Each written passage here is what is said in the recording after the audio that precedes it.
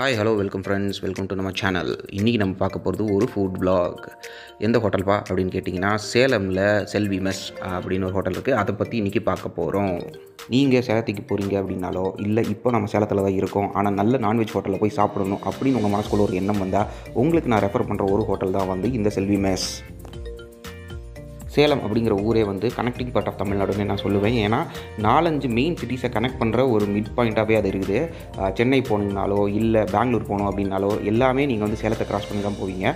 அப்படி நீங்கள் கிராஸ் பண்ணி போகும்போது ஹைவேஸ்லையோ இல்லை சிட்டிக்குள்ளே நீங்கள் போகிறீங்கன்னா இந்த ஹோட்டலை நீங்கள் அடிக்கடி பார்க்கலாம். ஆமாப்பா இந்த ஹோட்டலில் நான் கேள்விப்பட்டிருக்கேன். சேலத்தில் வந்து நிறைய பேர் இந்த ஹோட்டலை ரெஃபர் பண்ணியிருக்காங்க. ஆனால் எங்கே இருக்குன்னு தான் தெரியலை அப்படின்னு நீங்கள் சொன்னீங்கன்னா சேலத்தில் பழைய பஸ் ஸ்டாண்ட் புது பஸ் ஸ்டாண்டு ரெண்டு பஸ் ஸ்டாண்ட் இருக்குது. புது பஸ் ஸ்டாண்ட் அப்படிங்கிற பஸ் ஸ்டாண்டுக்கு பேரை இப்போ எம்ஜிஆர் சென்ட்ரல் பஸ் ஸ்டாண்ட் அப்படின்னு மாற்றிருக்காங்க நம்ம பார்க்க போகிற செல்வி மெஸ் இந்த புது பஸ் ஸ்டாண்ட் அதாவது எம்ஜிஆர் சென்ட்ரல் பஸ் ஸ்டாண்டுக்கு ஆப்போசிட்டில் கொஞ்சம் தூரம் மெதுவாக நடந்து போனீங்கன்னா அதாவது ரோடு கிராஸ் பண்ணி கொஞ்சம் தூரம் லெஃப்ட்டில் நடந்து போனீங்க அப்படின்னா அங்கே ஜாய் அலுக்காஸோட ஷோரூம் வரும். அந்த ஜாய் அலுக்காஸ் ஷோரூம்லேருந்து பக்கத்தில் சின்னதாக ஒரு கட்டு வருது. அந்த கட்டுக்குள்ளே ஒரு ஒன் மினிட் வாக் பண்ணிங்கன்னா நல்ல பெரிய போர்டில் நீட்டாக செல்வி மெஸ் அப்படிங்கிற போர்டை நீங்கள் பார்க்கலாம். செல்வி மெஸ் அப்படிங்கிற ஒரு ஹோட்டலே வந்து சேலத்தில் ஓரளவு நல்ல பேர் போன ஒரு ஹோட்டல். கிட்டத்தட்ட நாற்பது வருஷமாக அவங்க வந்து ஃபுட் இண்டஸ்ட்ரியில் இருக்காங்க அப்படிங்கிறது நமக்கு தெரிய வருது. அது மட்டும் இல்லாமல் இது எப்படி சென்னையில் சரவண பவன் சங்கீதா ஹோட்டல்ஸ் இதெல்லாம் வந்து ஒரு செயின் ஆஃப் ஹோட்டல்ஸோ அதே மாதிரி சேலத்தில் ஒரு chain of ஹோட்டல்ஸில் one of the known best hotel அப்படின்னு நான் சொல்லுவேன். சேலம் செல்வி மெஸ்ஸை.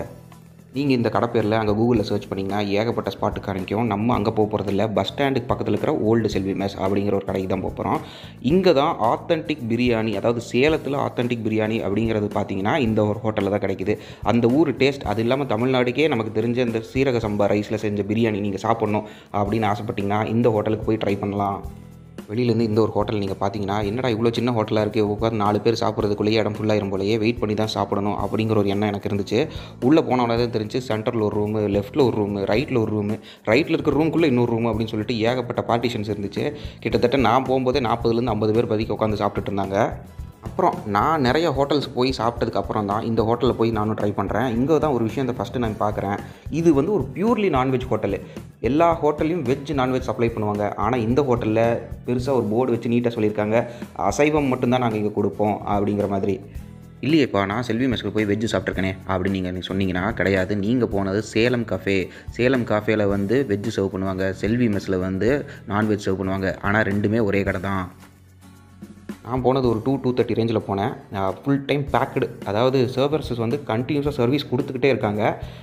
நம்ம போய் சிக்கன் பிரியாணி ஆர்டர் பண்ணோடனே கொஞ்சம் டைம் ஆகும் அப்படின்னு சொன்னதால் நான் வந்து ஒரு எக் பிரியாணி ஆர்டர் பண்ணிவிட்டு அப்புறம் ஒரு பெப்பர் சிக்கன் ஆர்டர் பண்ணியிருக்கேன். அது வர்ற வரைக்கும் வெயிட் பண்ணிட்டு தான் இருக்கணும். சரி கடையை பற்றி பேசினது போதும்பா. சாப்பாடு எப்படி இருக்குது அப்படின்னு கேட்டிங்கன்னா கிட்டத்தட்ட நம்ம சவுத் இந்தியாவில் தமிழ்நாட்டில் பர்டிகுலராக என்னென்ன ஐட்டம் குழம்பெல்லாம் சாப்பிடுவோமோ எல்லாமே கிட்டத்தட்ட வச்சுருக்காங்க. நான் போர்டு பார்க்கும்போது தெரிஞ்சுது. அதாவது இது ஒரு நாற்பது வருஷம் ஆத்தன்டிக் ஹோட்டல்னால் அதுக்கேற்ற மாதிரி டிஷ்ஷஸ் எல்லாமே வச்சுருக்காங்க நான்வெஜ்ஜில் அதாவது பார்த்திங்கன்னா இங்கே பாருங்கள் சிக்கன் சுக்கா இருக்குது சிக்கன் பிரியாணி இருக்குது மட்டன் பிரியாணி இருக்குது மட்டன் சுக்கா இருக்குது இறால் ஃப்ரை இருக்குது மீன் குழம்பு இருக்குது. இந்த மாதிரி ஏகப்பட்ட நான்வெஜ் ஐட்டம் நீங்கள் நான்வெஜ் பிரியர்னா இது ஒரு ஹெவன் அப்படின்னு நான் சொல்லுவேன். வந்து ஃபுல் கட்டு கட்டலாம். நமக்கு இவங்க சர்வ் பண்ணது பார்த்தீங்கன்னா ஒரு க்ரீன் லீஃப் அதாவது ஒரு பச்சை வாழை இலை வச்சுட்டாங்க. உடனே நமக்கு பிரியாணி வந்துருச்சு. சாப்பிட்டு பார்த்தேன். அது கூட அவங்க ரைத்தா அண்டு அதுக்கப்புறம் பார்த்தீங்கன்னா சிக்கன் குழம்பு ஊற்றுறாங்க அப்படியே மனசார நீங்கள் சாப்பிட்லாம். அதாவது திண்டுக்கல் பிரியாணி சாப்பிட்ணும். நம்ம தமிழ்நாடு ஸ்டைல் பிரியாணி சாப்பிட்ணும். ரசிச்சு ருசிச்சு அந்த அளவுக்கு சாப்பிட்ணுன்னா இந்த பிரியாணி நீங்கள் கண்டிப்பாக விடவே கூடாது. அடுத்து நம்ம சொன்ன மாதிரி சைட் டிஷ் வந்துருச்சு. அதாவது இந்த பெப்பர் சிக்கன் ஆர்டர் பண்ணியிருந்தேன். நம்ம வேறு ஹோட்டல்லலாம் சாப்பிட்டோம்னா பெப்பர் சிக்கன் க்யூப்ஸ் மாதிரி வெட்டி அதை வந்து பெப்பர் ஆயிலில் ஃப்ரை பண்ணி கொடுப்பாங்க. ஆனால் இங்கே பார்த்தீங்கன்னா லென்த்தி லென்த்தி பீசஸாக நல்லா ஆயில் ஃப்ரைடு கிறிஸ்பியாக இருக்குது சாப்பிட்றதுக்கே.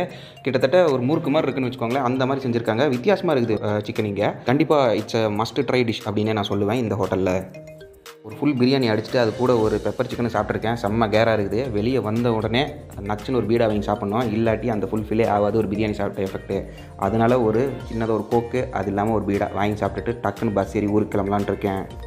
இந்த மாதிரி food blogs food reviews movie reviews இதெல்லாம் உங்களுக்கு தெரிஞ்சுக்கணுன்னா நம்ம சேனலை சப்ஸ்கிரைப் பண்ணுங்கள் ஷேர் பண்ணுங்கள் லைக் பண்ணுங்கள் ஸ்டேட்யூன் கைஸ் தேங்க்யூ